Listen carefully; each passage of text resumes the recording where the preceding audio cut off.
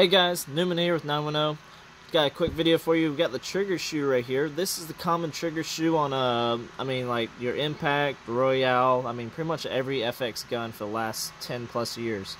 Anyways, got a neat little trick here for y'all uh, people with the Impact Bronze. Got my uh, torch here. And if you heat it up just long enough,